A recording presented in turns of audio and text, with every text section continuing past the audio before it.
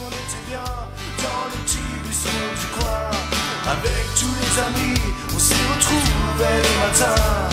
On y chantait un peu, un café à la main.